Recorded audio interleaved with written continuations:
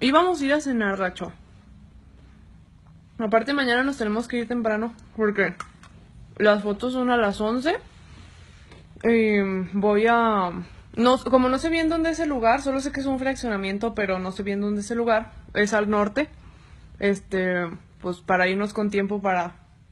Por si no le hallamos y así. Porque estas personas traen el tiempo así como bien, bien justito porque la misa es a la una.